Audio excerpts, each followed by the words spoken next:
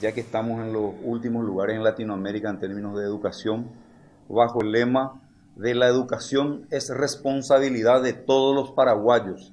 Iniciar esta semana contacto con todos los actores sociales del país. Llámese científicos, gente del CONACYT, Universidad Nacional, Educación Superior, jóvenes, padres de familia, docentes y toda sociedad civil organizada a nivel país.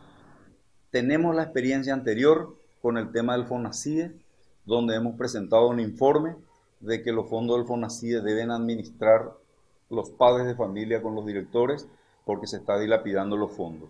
Hoy estamos preparando eh, un plan que vamos a poner a consideración de todos los actores sociales, que es un plan que hemos preparado este, de desarrollo educativo del país, y lo vamos a hacer en todas las cabeceras departamentales, vuelvo a repetir, con todos los actores políticos que deben involucrarse en la educación paraguaya para la reforma de la reforma educativa, valga la redundancia, porque estamos cansados los directores de improvisaciones en términos de malla curricular, improvisaciones en términos de capacitación, improvisaciones en términos de ministro, etcétera, etcétera, etcétera. Entonces, hoy estamos eh, anunciando ante la comunidad educativa del país que el Sindicato Nacional de Directores promoverá un gran conversatorio nacional con todos los actores sociales, a fin de buscar una eh, medicina, por decirlo de alguna forma,